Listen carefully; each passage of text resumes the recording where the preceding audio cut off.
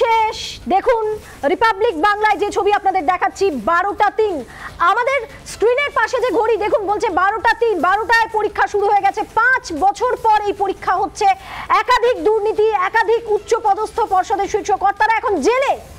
প্রাক্তন শিক্ষামন্ত্রী, তিনিও জেলে। এই রকম একটা অবস্থায় আজকের এই টেট গুরুত্বপূর্ণ নিঃসন্দেহে পরীক্ষার্থীদের কাছে এবং পর্ষদের কাছেও চ্যালেঞ্জ প্রজ্ঞা শাহ আমাদের রিপোর্টার আমাদের সঙ্গে রয়েছে হিন্দু স্কুল থেকে কথা বলব প্রজ্ঞার সঙ্গে। প্রজ্ঞা, অবশেষে পাঁচ বছর পর আজকে টেট হচ্ছে, আয়োজিত হচ্ছে হিন্দু স্কুলের সামনে তুমি রয়েছো। এই মুহূর্তের ছবিটা আমাদের বিবরণ দাও দেখো ঠিক এগারোটা বাজার সঙ্গে সঙ্গে গেট বন্ধ করে দিয়েছিল। তারপরেও বেশ কয়েকজন পরীক্ষার্থী এসে জমায়েত করেছিলেন। তাদেরকে ঢুকতে দেওয়া হচ্ছিল না সেই সময়। আমাসিক থানার পুলিশ আসে, সেই ছবি তোমাদের দেখিয়েছি। তারপরে পর্ষদ তার নির্দেশ পরিবর্তন করে টাইম বাড়ানো হয়, এগারোটা পঁয়তাল্লিশ করা হয়। এবং তারা যারা ছিলেন, পরীক্ষার্থী তাদের ঢুকিয়ে দেওয়া হয় যে তারা দেরিতে এসেছেন। কিন্তু তারপরেও এগারোটা পঁয়তাল্লিশে যে পরীক্ষার্থীরা শেষবার ছিলেন, তাদের ঢুকিয়ে দেওয়ার পর গেট বন্ধ হয়েছে। কিন্তু তারপরেও গোটা তিন, চারজন পরীক্ষার্থী এসে উপস্থিত হয় এবং তাদের এখানে এসে তারা সরব হয়, তারা উত্তাল করেন যে তাদের ঢুকতে দিতেই হবে। পরীক্ষা করে বারোটা মাসে এক মিনিট বাকি আছে। সেই অবস্থাতেও কিন্তু এখানে স্কুল কর্তৃপক্ষ এসে গেট খুলে তাদেরকে ভেতরে ঢুকতে দিয়েছে এবং এই হিন্দু স্কুলে যিনি হেডমাস্টার রয়েছেন, তিনি পরিষ্কার জানিয়েছেন, পর্ষদের নিয়ম অনুসারে এক মিনিট আগে পর্যন্ত যারা আসবে তাদের ঢুকতে দেওয়া হবে। তাই পর্ষদের নিয়ম অনুযায়ী তাদেরকে ঢুকতে দেওয়া হয়েছে।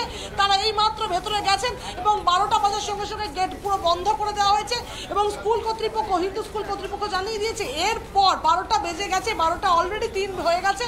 এরপর যারা আসবেন তাদেরকে আর কাউকেই ভেতরে দেওয়া ঢুকতে দেওয়া হবে না।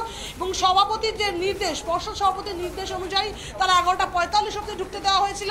তারপরেও বন্ধ করে গেট বন্ধ করে দেওয়ার পরও কয়েকজন চলে এসেছিলেন। তাদের দাবি, তাদের ঢুকতে দেওয়া হোক, তাদের পরীক্ষা দিতে দেওয়া হোক, একটি মেয়ে এসে সে তিনি জানিয়েছেন তিনি বর্ধমান থেকে এসেছেন ট্রেনে করেছেন তাই তার আসতে দেরি হয়েছে। সেই ক্ষেত্রে তাকে ঢুকতে দেওয়া হোক, এমনটাই তারা দীর্ঘক্ষণ ধরে দাবি জানান, তেমন সেইখান থেকে হিন্দু স্কুলে যে প্রিন্সিপাল আছেন, তিনি আসেন, হেডমাস্টার এসে দরজা খুলে দেন এবং তাদেরকে ঢুকতে দেওয়া হয়েছে। কিন্তু পরিষ্কার তারপরেই বারোটা বাজার সঙ্গে গেট বন্ধ করে দেওয়া হয়েছে এবং স্কুল কর্তৃপক্ষ পরিষ্কার জানিয়ে দিয়েছেন, এই বারোটা বেজে গেছে এবং এরপর যারা আসবেন, তারা দাবি করলেও আর গেট খুলে দেওয়া সম্ভব নয়।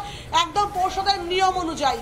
এবং এই মুহূর্তে পরীক্ষা শুরু হয়ে গেছে, গেট তালা পড়ে গেছে এবং দেখতেই পাচ্ছ পুলিশ মোতায়েন রয়েছে, ভেতরে এবং বাইরে পুলিশি নজরদারি রয়েছেন এবং স্কুল কর্তৃপক্ষ যারা স্টাফরা আছে, কর্মীরা আছেন, তারাও স্কুলে রয়েছেন এবং এই মুহূর্তে আটা একদম আটো সাটো নিরাপত্তা ব্যবস্থা ছবিটা দেখতেই পাচ্ছ চারিধারিক মোতায়েন রয়েছে ইয়ে আর এবং কি, এই যে স্কুল, স্কুলের চারদিকেও কিন্তু কোথাও সামনে গাড়ি রাখা নিয়ম নেই। স্কুলের প্রায় দু গেট যে আছে গেটের পাঁচশো মিটারের মধ্যে কোথাও গাড়ি দাঁড়াতে পারবে আমরা সেই ছবিগুলো সকাল থেকে দেখিয়েছি কিন্তু আমি আমি তোমার পিছনে যাদের দেখতে পাচ্ছি নিশ্চয়ই অভিভাবক যারা এই পাঁচটা বছর দুশ্চিন্তায় কাটিয়েছেন যারা রিপাবলিক বাংলায় বারবার এই যে দুর্নীতির অভিযোগগুলো দেখেছেন তারা শঙ্কিত আশঙ্কিত। আজকের এই পরীক্ষাটা ঠিকভাবে হবে তো? এবং তারপর পরীক্ষার যে উত্তরপত্র সেটা ঠিকমতো মূল্যায়ন ডেটা এন্ট্রি পুরো প্রক্রিয়াটা ঠিকমতো হবে তো? নিশ্চয়ই তারা শঙ্কিত। তাদের সাথে কথা বলা সম্ভব প্লিজ বলো। একদমই আমি একটু কথা বলে নেব। দাদা এই পরীক্ষা নিয়ে কতটা আপনারা দুশ্চিন্তায় রয়েছেন? পরীক্ষা কতটা নির্বিঘ্নে হবে বলে মনে করছেন? আদৌ কি ফল প্রকাশিত হবে এবং স্বচ্ছ নিয়োগ হবে কি মনে হচ্ছে? ভালো পরীক্ষা ভালোই হবে ফল নিশ্চিতভাবে ভালোই হবে। আদৌ কি যে জটিলতা বিতর্ক রয়েছে টেস্ট নিয়ে?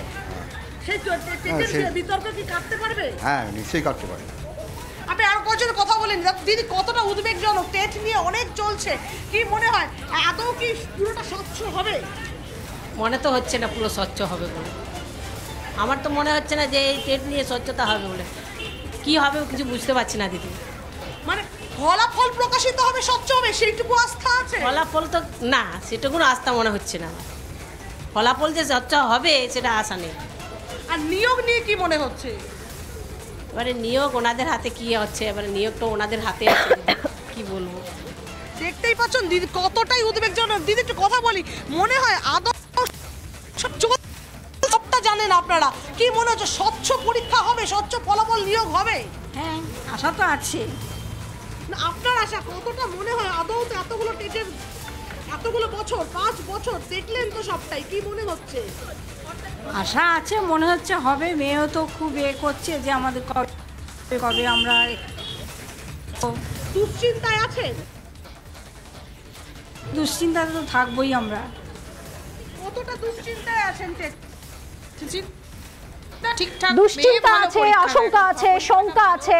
ভিতরে এই এই সমস্ত অভিভাবকদের যে সন্তানরা তারা পরীক্ষা দিচ্ছেন পাঁচ বছর অপেক্ষা করেছেন কেউ কেউ প্রথমবার দিচ্ছেন।